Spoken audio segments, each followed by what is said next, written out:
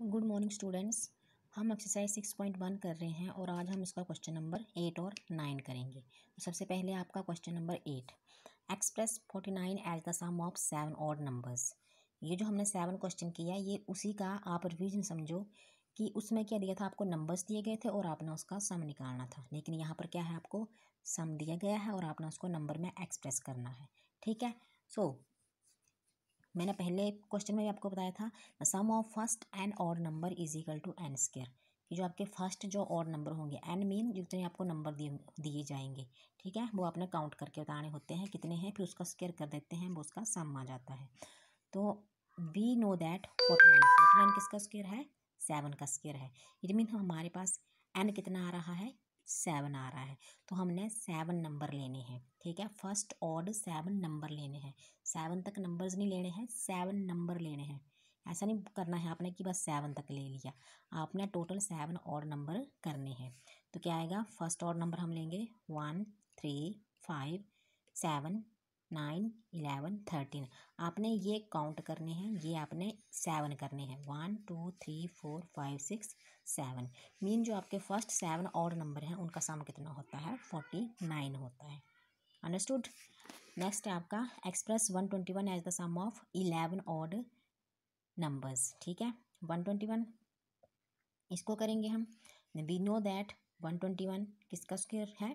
Eleven का square है। Mean N कितना आ गया आप, आपके पास इलेवन। अब आप कितने और नंबर लोगे? इलेवन और नंबर लोगे ठीक है? तो ये कितने आएँगे? One three five seven nine eleven thirteen fifteen seventeen nineteen twenty one. ये आपके फ़र्स्ट इलेवन और नंबर हैं जिनका सम कितना है? वन हंड्रेड ट्वेंटी वन है ठीक है? अब आपके पास क्वेश्चन नंबर नाइन है।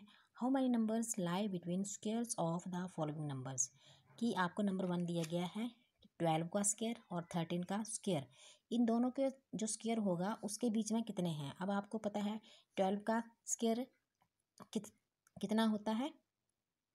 वन फोर्टी फोर होता है और थर्टीन का स्केयर कितना होता है? वन सिक्सटी नाइन होता है। तो हमने बताना है कि इन दोनों के बीच में कितने नंबर्स हैं, ठीक है?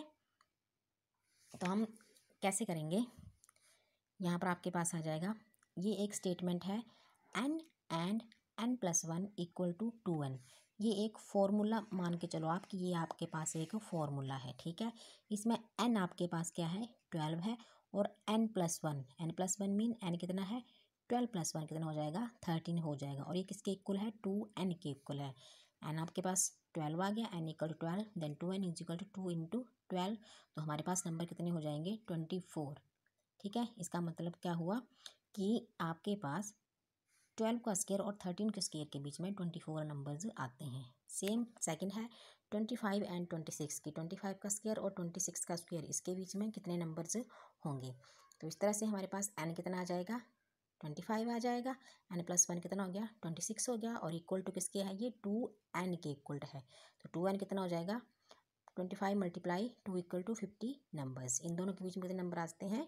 फिफ्टी नंबर्स आते हैं। थर्ड है आपके पास नाइन्टी नाइन एंड हंड्रेड कि नाइन्टी नाइन का स्केयर और हंड्रेड का स्केयर इसके बीच में कितने नंबर्स आएँगे?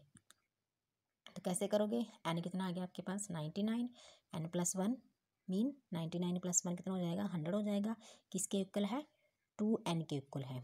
तो टू इंटू एन एन कितना आपके पास? नाइन्टी नाइन तो हमारे पास नंबर आ जाएँगे वन हंड्रेड नाइन्टी एट ठीक है? ये क्वेश्चन आपने कॉपी में नोट कर लेने हैं। Thank you